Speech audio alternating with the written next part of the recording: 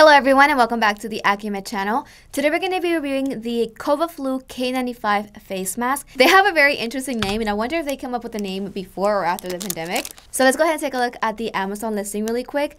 These come in a box of 10 for $11.49. They have a 4.6 out of 5 rating with over 21,000 reviews. That is a lot of reviews. So let's go ahead and take a look at these masks. This is how they look. These are made in China and they follow the old GB2626 2006 standard. So this is a four layer mask and it is very thin. It has elastic headbands. The outer layer is a little rough. This is how it looks from the inside. It's not that soft from the inside. It's not the best nose wire. It's a little bit flimsy, but we're going to flatten it out and put it on. I am getting a good fit with this KN95, so it's maybe a small to medium size. Like I said, the nose wire is not the best, so I am still getting uh, quite a bit of leakage actually. So I'm definitely not getting a good seal with this mask let's go ahead and take a look at the collapse.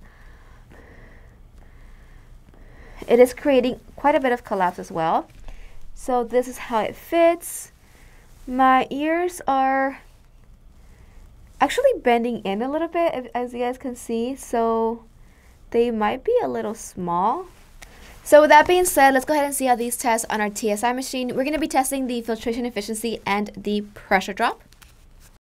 This is our TSI machine model 8130A, which is also the same filtration testing machine that NIOSH uses to approve N95 respirators. Our procedure is inspired by NIOSH. We first run a tester setup and start removing the ear loop bands from the mask before placing it onto a testing plate to ensure a proper seal. Then we make sure that the mask is properly and completely sealed with hot glue to the testing plate. When applying the hot melt glue, we make sure that there is no holes or leakage around the seal to ensure accurate results. The testing plate is an attached to the frame and the box is placed under the TSI filter holder for testing. The results are displayed on the TSI monitor. F stands for airflow rate, which we test at 85 liters per minute. R is for resistance, also referred to as pressure drop. This correlates with the breathability, so the lower the number, the more comfortable and breathable the mask is. E stands for filtration efficiency percentage.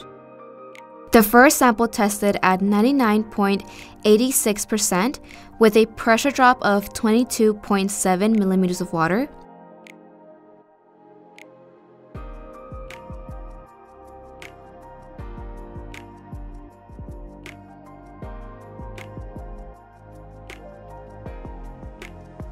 The second sample had a filtration percentage of 99.67 and a pressure drop of 24.9 millimeters of water.